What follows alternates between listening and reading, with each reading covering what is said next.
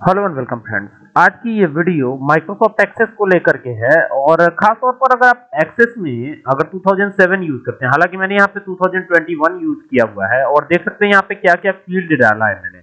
ये आईडी है जो कि प्राइमरी की है। फ़िलहाल इस आज का ये टॉपिक प्राइमरी की का तो है नहीं। और यहाँ पे नेम ऑफ़ स्टूडेंट है, जिसका डेटा टाइप शॉर्ट टेक्स्ट है क्लास का डेटा टाइप शॉर्ट टेक्स्ट है और इसके लिए मैंने क्या बनाया है? एक ड्रॉप डाउन भी बना लिया है।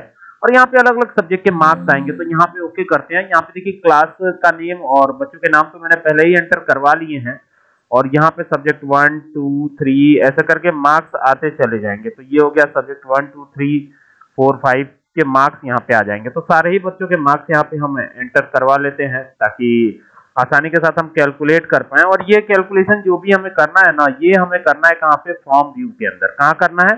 फॉर्म व्यू के अंदर करना है। ये चीज़ ध्यान रखिएगा, हम जो है कोई भी क्वेरी नहीं बनाएँगे, सीधा फॉर्म व्यू के अंदर ही कैलकुलेट करने वाले हैं। तो ये चीज़ ध्यान रखिएगा, आज का टॉपिक जो है, आज का जो मेन पॉइंट है, वो यही है कि हम सीधा कहाँ कैलकुलेट करेंगे फॉर्म के अंदर जाके कैलकुलेट करेंगे, ठीक है? तो ये हो गया और ये लास्ट बचा हुआ है, इसको हम यहाँ पे एंट्री करवा लेते हैं। तो जो भी यहाँ पे मार्क्स वगैरह आए हैं, वो एंट्री कर देता हूँ मैं। अब ये हो गया।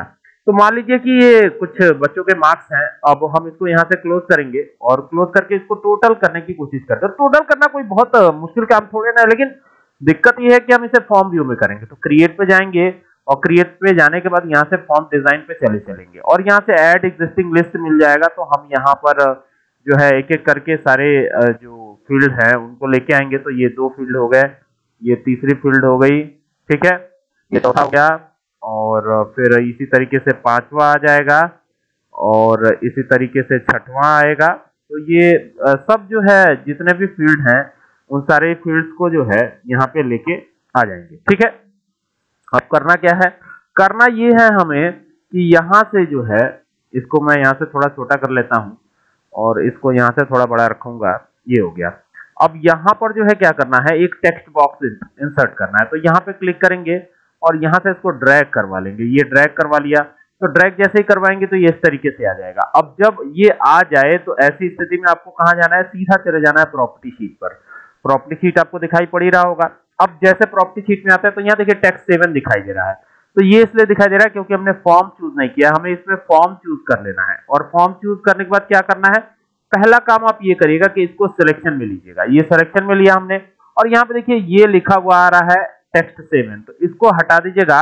यहाँ पे करिएगा total T O T A L ये टोटल कर दिया। अब इसको भी यहाँ पर क्लिक करके यहाँ पर भी आपको क्या लिखना है? टोटल लिखना है। तो यहाँ चीज़, यहाँ पर ध्यान दीजिएगा। इसको मैं थोड़ा सा और बड़ा करता हूँ ताकि आपको क्लियरली दिखाई पड़े। और यहाँ पे जाकर के इसको लिख दीजिएगा टोटल यानी दोनों ही का नाम हमने चेंज कर दिया। अब देखिए यहाँ पे टोटल आने लगा है। थोड़ा सी इसे डार्क में लेके आने के लिए मैं यहाँ से होम टैब पे जाके और इसका कलर जो चेंज कर देता हूँ और इसे बोल्ड में ले लेता हूँ ताकि आपको क्लियरली ये साफ़ साफ़ दिखाई भी पड़े। अब ये तो हो गया हमारा काम टोटल हमने कर दिया इसका दोनों का नाम चेंज कर दिया। अब यहाँ पर आते हैं तो यहाँ पर भी हमें नाम देखना होगा कि यहाँ पर क्या नाम आ, आ, रखा गया है। तो इस पर पहले बाहर क्लिक करते हैं फिर यहाँ पर आते हैं। सब्जेक्ट फाइव है यहाँ पर तो ठीक है यहाँ पर भी ठीक ही है। तो अब हम क्या करेंगे ना यहाँ पर कैलकुलेट करेंगे। कैलकुलेट कैसे होगा? तो यहाँ पर राइट क्लिक करेंगे और राइट क्लिक करके यहाँ पे देखिए यहाँ पर कई तरीकों से कैलकुलेट किया जा सकता है लेकिन मैं आपको बताता हूँ ये ब्यूल्ट इवेंट जो आ रहा है आप यहाँ से जा सकते हैं। लेकिन फ़िलहाल हमें करना क्या है? यहाँ पर क्लिक करके अदर्स पे जाके ये यहाँ पे आपको दिखाई पड़ा होगा क्लिक कीजिए और क्लिक करके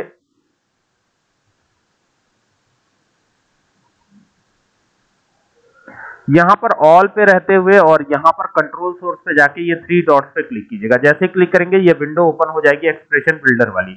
अब आपको क्या करना है? यहाँ पे स्क्वायर ब्रैकेट के अंदर लिखना है एस यू बी वन क्योंकि पहला सब्जेक्ट है, फिर यहाँ पे करिएगा एस यू बी टू फिर इसको क्लोज कीजिएगा, फिर यहाँ करिएगा एस यू बी थ्री ये हो गया, फिर यहाँ करिएगा एस यू बी फोर ठीक है? फिर यहाँ पे एस यू बी फाइव यानी लास्ट बचा हुआ है फाइव हमारे पास। तो ये फाइव को भी हमने यहाँ पे दे दिया है ओके कर दिया। ओके करने के बाद यहाँ से व्यू पे क्लिक करना है। और जैसे व्यू पे क्लिक करेंगे तो आप देखेंगे कि ये टोटल भी ऐड होता हुआ नज़र आ रहा है। आ रहा है कि नहीं आ रहा है? देखिए नीचे, ये टोटल हो रहा है ना? अब इसमें जो है, जो भी चेंजेस करेंगे, उसके हिसाब से ये टोटल भी चेंज हो जाएगा। जैसे मान लिया एटी कर दिया तो ये टोटल भी ऑटोमेटिक चेंज होगा। देखिए चेंज भी हो रहा है। ठीक है, यहाँ पे 99 है, मान लीजिए 66 कर दिया तो ये भी चेंज हो जाएगा। देखिए चेंज हो रहा है। ठीक है, और जितने भी स्टूडेंट्स हैं, उनका ऑटोमेटिक ये सारा कुछ कैलकुलेट होता रहेगा। ठीक है? देखिए, कितना आसान है इसको करना, और ये माइक्रोसॉफ्ट एक्सेस में डायरेक्टली अगर आपको टास्क दे दिया जाता है फॉर्म व्यू में करने के लिए तो थोड़ी सी दिक्कत तो होगी, लेकिन आप अगर इस चीज़ को फॉलो करेंगे तो बहुत अच्छे से कर पाएँगे। तो वीडियो को पूरा देखिएगा और अच्छे से इसको फॉलो कीजिए। आप ज़रूर जो है टोटल फॉर्म व्यू में कर पाएँगे। उम्मीद करता हूँ बात आपके समझ में आ गई होगी। अगर आपको ये वीडियो पसंद आए तो शेयर कीजिएगा। साथ ही साथ चैनल जिसका नाम है computer and S L solution से सब्सक्राइब करना ना भूलिएगा। Thank you for watching this video